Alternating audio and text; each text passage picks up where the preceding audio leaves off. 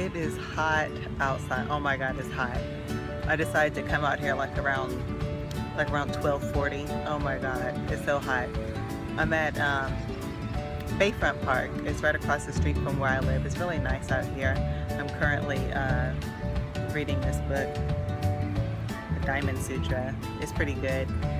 Uh, just hanging out, reading, looking at people mostly. It's like I'm half reading and half on my phone, so whatever. But it's cool. So. Hope you have a good Saturday, a good Sunday, a good weekend all together. Enjoy yourself. Bye.